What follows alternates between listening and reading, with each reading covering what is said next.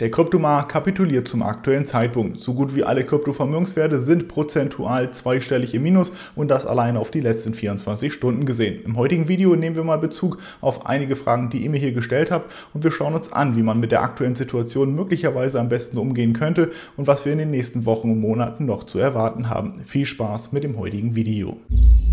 Hallo und herzlich willkommen Freunde zu einem weiteren Video auf diesem Kanal. Mein Name ist Robin und im heutigen Q&A beantworte ich wieder einige Fragen von euch, die ihr mir hier über Instagram gestellt habt. Gerne kannst auch du mir auf Instagram kostenfrei folgen, um mir eben fürs nächste Q&A auch deine Frage zu stellen. Natürlich befassen sich die heutigen Fragen viel mit der aktuellen Marktsituation. Aufgrund dessen habe ich hier natürlich die passenden Fragen etwas zusammengefunden und hier für euch aufgelistet. Nutze super gerne die Zeitstempel, um dich im Video zurechtzufinden. Zu Beginn reden wir erstmal logischerweise über die aktuelle Situation gehen dann auf die Prognosen bzw. wie ich aktuell mit der Situation umgehen möchte und zum Ende des Videos kommen wir dann noch zu einigen in Anführungsstrichen privaten Fragen. Ich wünsche dir viel Spaß mit dem Video, lass super gerne Bewertung und einen Kommentar da, um mich und den Kanal zu unterstützen und gerne kannst du diesen Kanal natürlich auch kostenfrei abonnieren, um in Zukunft nichts mehr zu verpassen. Ich würde auch sagen, wir reden gar nicht länger um den heißen Brei, sondern springen direkt auf die erste Frage, die hier natürlich signifikant wichtig ist. Ein paar aufbauende Worte an Leute wie mich, die erst seit wenigen Monaten im Game sind. Ja, solche Fragen erreichen mich natürlich recht oft. Der Kryptomarkt hat gerade im Jahr 2021 hier nicht nur den großen Hype gesehen,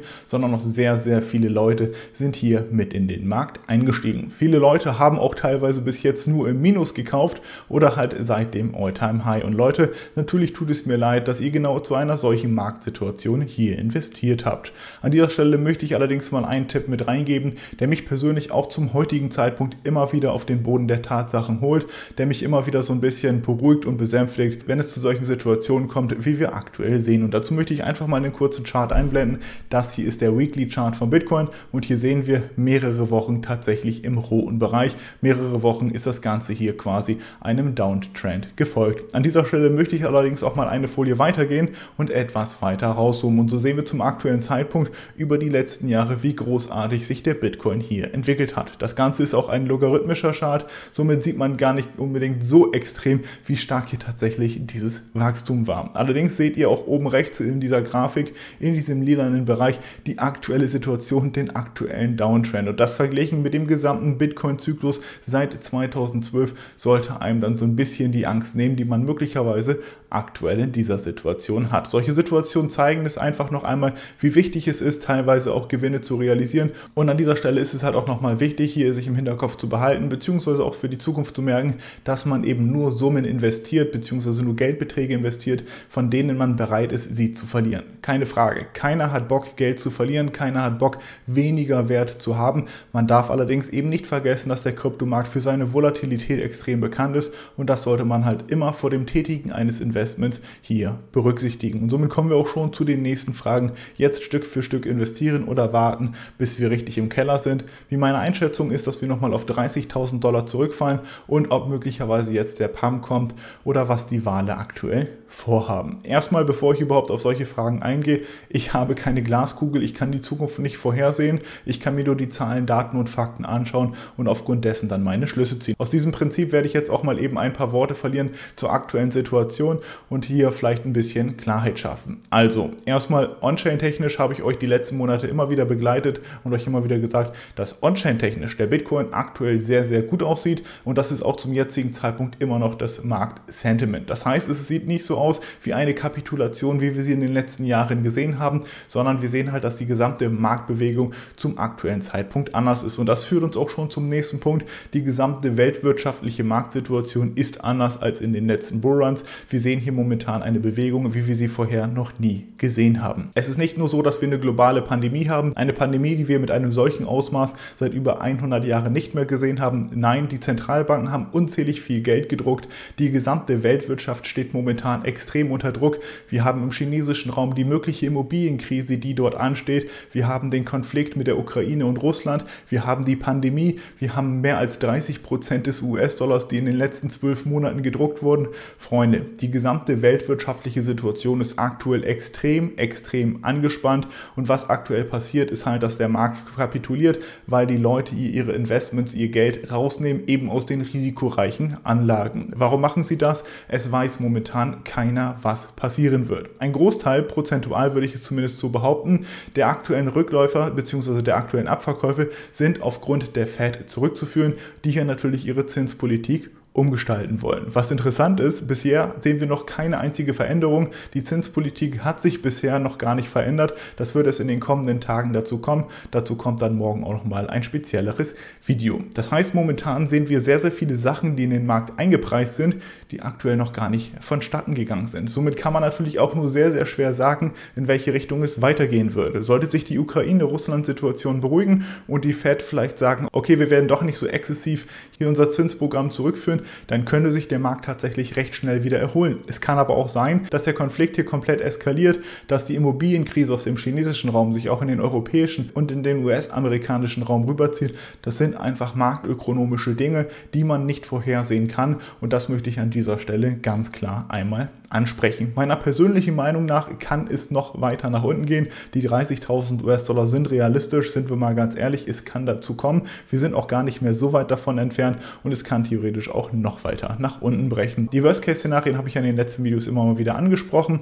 Das aktuelle Worst-Case war bei 36.000. Hier sind wir auch drunter gebrochen. Das nächste Worst-Case liegt bei ungefähr 29.000 bis 30.000 US-Dollar und darunter das Worst-Case liegt zwischen 17.000 und 20.000 US-Dollar und das wäre persönlich meine Zone, wo ich spätestens mit extrem großen Beträgen verhältnismäßig hier investieren würde. Und somit kommen wir auch schon zur nächsten Frage.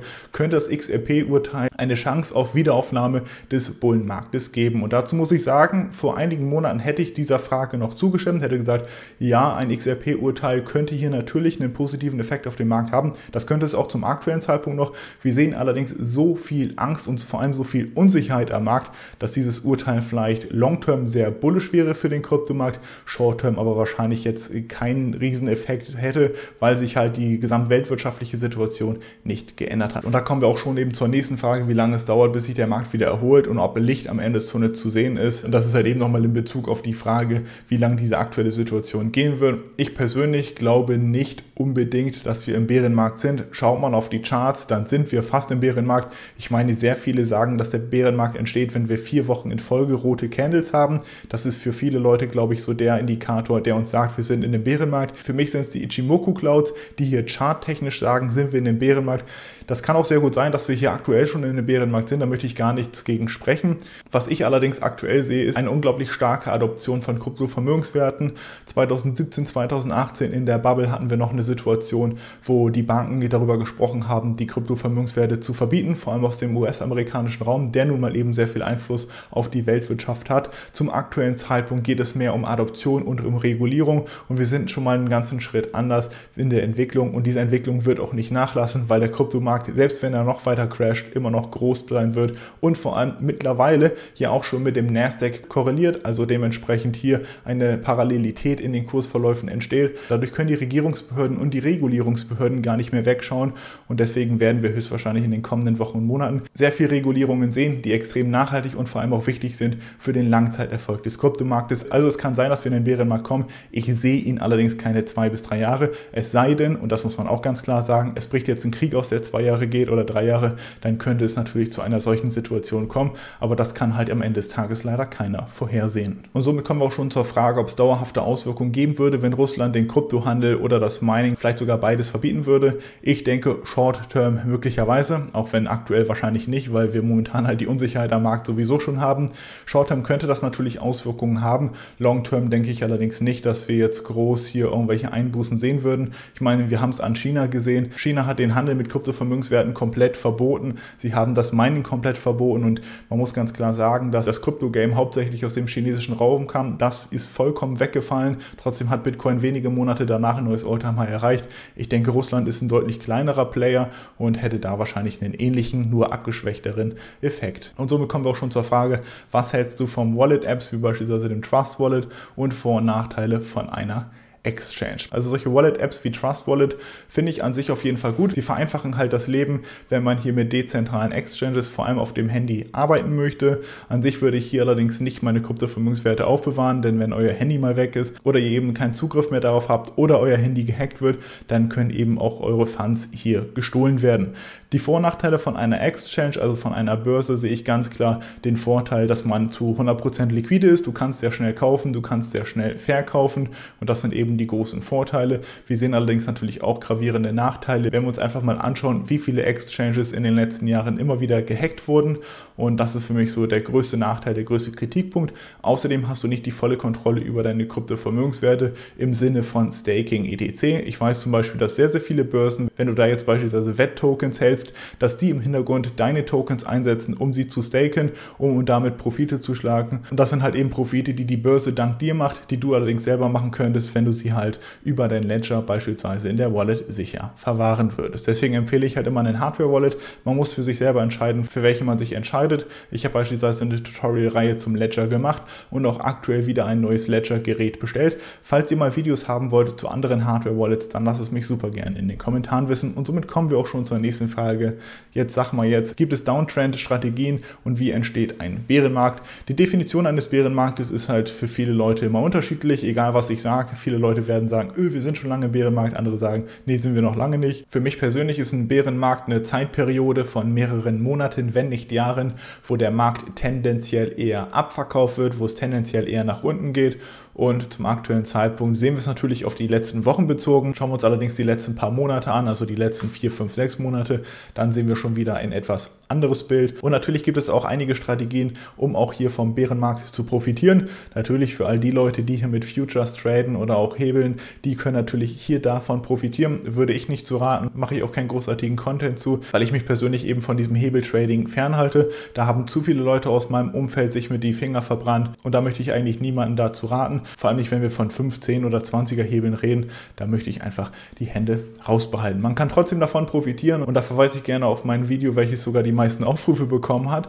nämlich meinen größten Fehler im Crypto-Game. Denn mein größter Fehler war es, nach dem Crash 2017, 2018 nicht investiert zu haben. Und das sind die besten Downtrend-Strategien. Einen Zeithorizont von mehreren Jahren im Hinterkopf behalten und solche Marktphasen wie aktuell und vor allem auch Bärenmärkte ausnutzen, um dort massiv zu akkumulieren und um diese Profite dann zu realisieren, wenn der Markt extrem euphorisch ist. Das kann zum aktuellen Zeitpunkt theoretisch noch mehrere Monate, möglicherweise sogar Jahre dauern. Allerdings sollte man halt solche Investments über einen längeren Zeithorizont ansehen und dann dementsprechend dort seine Entscheidungen treffen. Und somit kommen wir zur Frage, jetzt nachkaufen oder abwarten, halten, verkaufen, nachkaufen wie sollte man mit der aktuellen Situation umgehen. Um die Frage mit dem Sparplan und mit dem Dollar-Cost-Average-Effekt hier direkt voranzuführen, Ganz klar, ich werde meinen Sparplan ganz normal weiter so laufen lassen. Der Sparplan ist perfekt für solche Situationen wie aktuell. Man weiß nicht, ob es noch weiter nach unten geht oder schon wieder nach oben steigt. Der Sparplan sorgt halt eben dafür, dass man den vernünftigen Dollar-Cost-Average-Effekt genießen kann. Wie gehe ich mit der aktuellen Situation um? Um nochmal auf die Frage einzugehen, halten, kaufen oder verkaufen. Ich persönlich, und das ist keine Anlageberatung, würde zum aktuellen Zeitpunkt überhaupt nicht verkaufen. Warum auch? Ich war bereit, den Bitcoin für 45.000 Dollar zu kaufen. Und da ist auch jetzt nochmal die Frage an jeden einzelnen von euch, die ihr euch auch nochmal selber stellen solltet.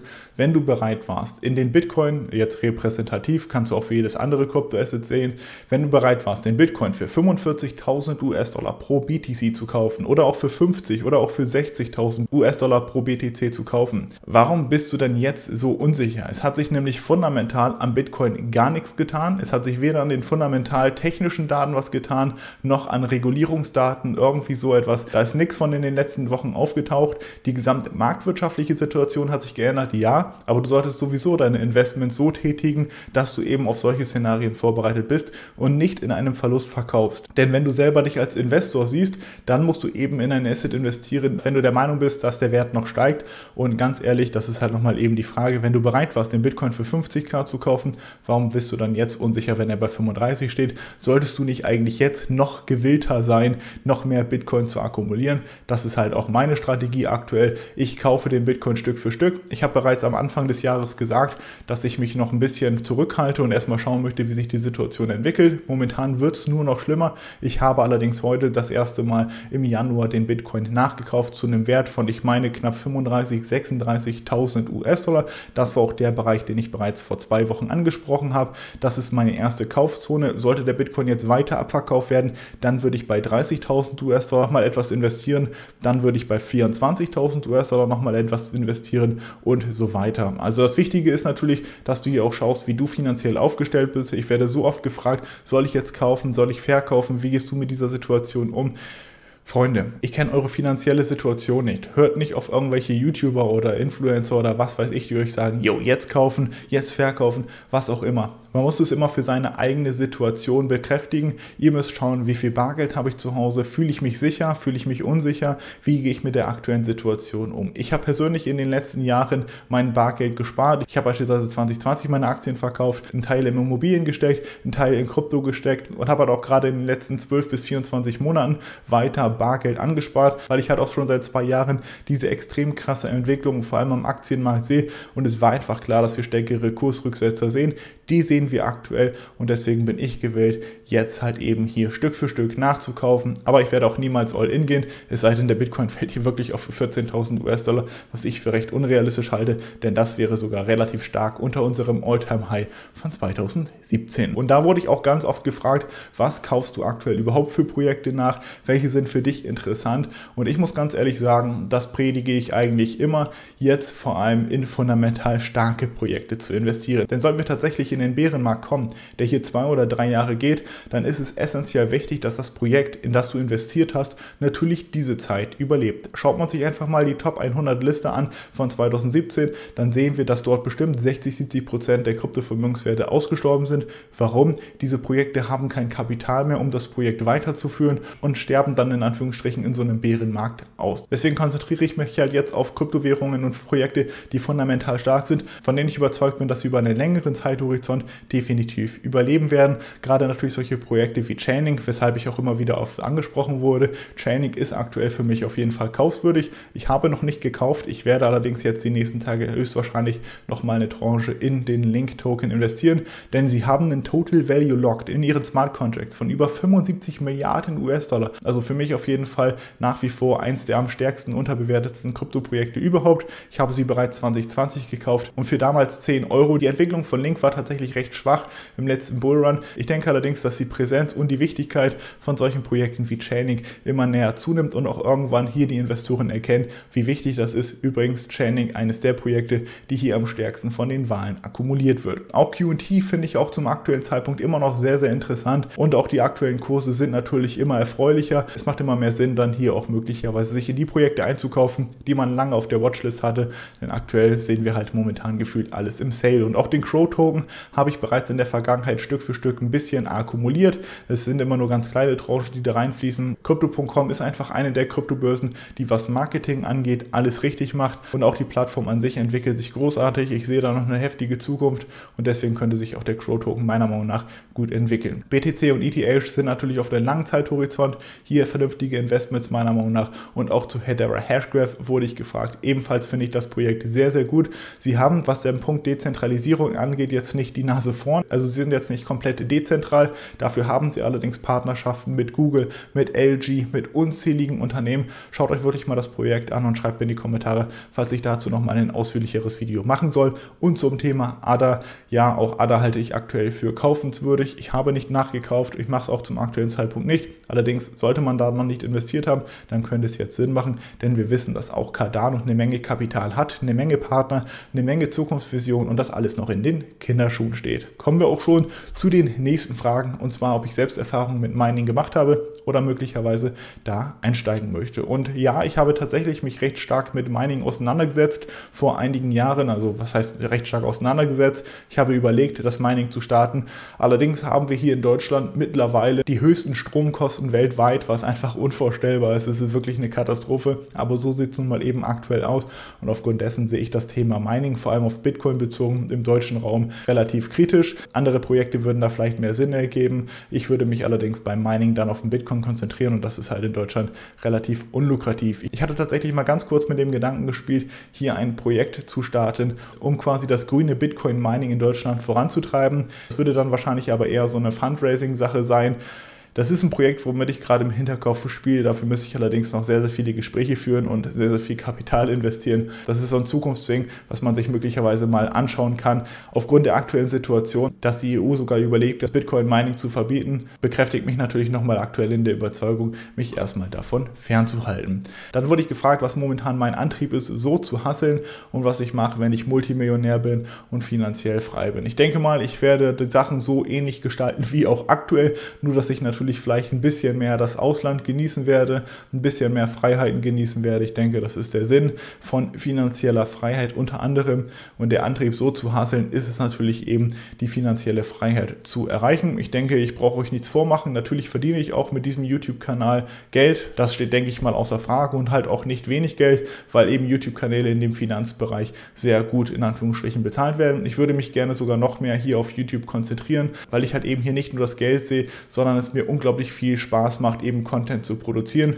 Ich denke, wenn ich nur das Geld sehen würde, dann hätte ich mit YouTube schon viel früher aufgehört, denn einige von euch werden es wissen, ich mache YouTube bereits seit 2011, weil es mal unglaublich viel Spaß macht, hier Content zu createn und dass dieser Content jetzt in dem letzten Jahr so gut ankam, das hat mich natürlich selber überrascht und das ist halt unter anderem auch die Motivation, hier dran zu bleiben. Also definitiv bei mir nicht der Fokus Geld. Ich will es natürlich nicht beiseite drücken und sagen, ja, nee, das interessiert mich nicht. Natürlich ist das auch ein Aspekt, der hier motiviert. Trotzdem muss ich ganz klar sagen, dass ich auch ohne das Geld zum aktuellen Zeitpunkt weiter YouTube machen würde, denn sonst hätte ich mit Sicherheit in den ersten zehn Jahren meiner YouTube-Karriere, wo ich keinen Cent verdient habe, bereits aufgehört. Und somit kommen wir auch schon zur Frage, was mich glücklich macht.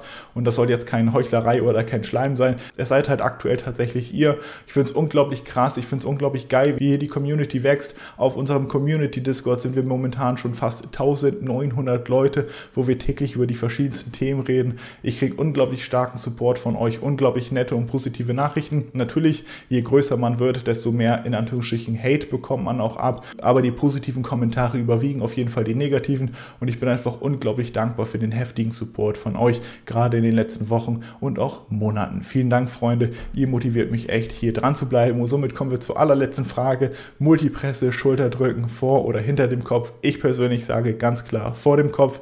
Hinter dem Kopf belastest du einfach deinen Nacken zu stark. Zumindest ist das meine Meinung. Ich weiß, es machen sehr viele Leute.